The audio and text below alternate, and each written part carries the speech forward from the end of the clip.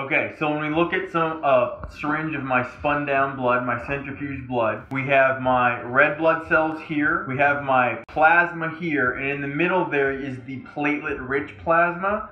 So what we do is we take this top layer of plasma and the platelet rich plasma there, basically separate it from the red blood cells, and we spin it again to get the high density platelet rich plasma fraction that we're going to use to help get my hair to grow again. So here we have this after the second spin.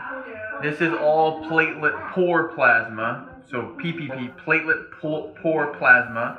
And then down here is the platelet rich plasma, the PRP down here. So this lower portion is what we're going to inject into my scalp to try and get my hair to grow back. All right, so now we are injecting the PRP subdermally, which is right under my skin, into the area where the hair follicles exist, but they're just not growing hair.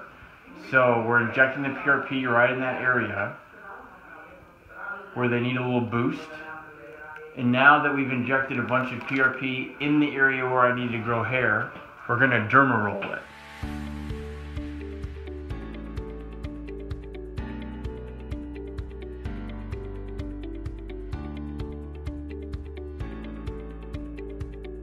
Now that we've injected the PRP and then derma rolled it, we're taking the leftover PRP and massaging it into the skin through all the holes that the derma roller made.